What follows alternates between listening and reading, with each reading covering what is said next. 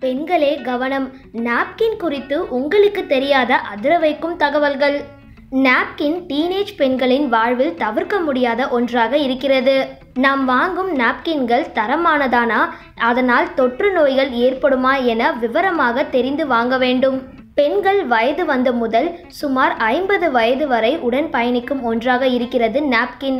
ஒரு பெண் தன் வாழ்நாளில் சுமார் பதினைந்தாயிரத்திற்கும் மேற்பட்ட சானிட்டரி நாப்கின்களை பயன்படுத்துகின்றனர். பொதுவாகவே நாப்கின்கள் பருத்தியால் தயாரிக்கப்பட்டவையாகவே இருக்கும் என நாம் நினைக்கலாம்.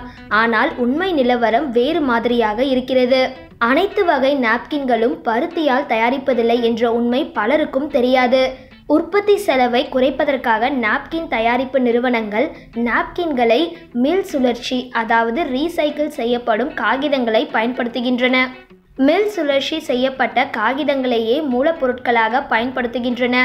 நாப்கின் தயாரிப்பில் டயாக்சின் என்ற வேதிப்பொருள் பயன்படுத்தப்படுகின்றது.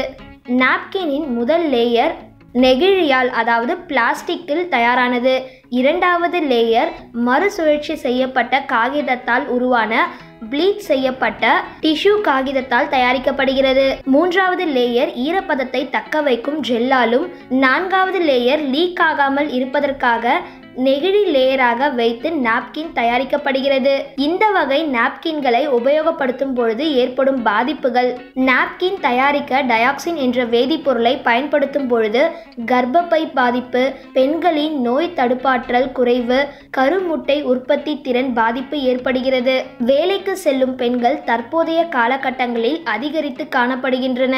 இதனை வைத்து நாப்கின் விளம்பரங்கள் பெண்களை ஈர்க்கும் விதமான விளம்பரங்களை செய்கின்றனர். அந்த விளம்பரங்களில் அல்ட்ரா திறன் எக்ஸ்ட்ரா லாங் லாங் நைட் என வசனம் போட்டு மக்களை நம்ப வைக்கின்றனர். நாப்கினின் என்னென்ன வகையான மூலப்பொருட்கள் பயன்படுத்தப்பட்டுள்ளன என்பதை கவனித்து வாங்க வேண்டும். டயாக்சின் என்ற வேதிப்பொருள் இல்லாத ஆன் ப்ளீச்சிங் நாப்கின்களை மட்டுமே பயன்படுத்த வேண்டும்.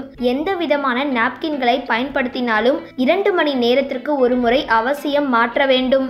நாப்கினை மாற்றும் பொழுது சுத்தமாக கையை கழுவிய பின் மாற்ற வேண்டும். நாப்கினை ஈரப்பதம் உள்ள கழிவறையிலேயே வைக்க வேண்டும்.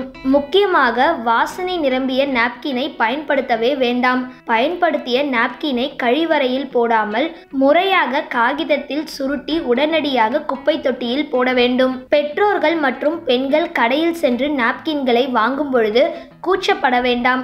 ஏனெனில் அது உங்கள் உடல் நலத்துடன் தொடர்புடையது. நாப்கின் பயன்படுத்துதல் குறித்து பெண்கள் எப்பொழுதும் விழிப்புணர்வுடன் இருக்க வேண்டும். இந்த வீடியோ பிடிச்சிருந்தா லைக் பண்ணுங்கள் ஷேர் பண்ணுங்கள் மறக்காமல் பக்கா டிவியை சப்ஸ்கிரைப் பண்ணுங்கள்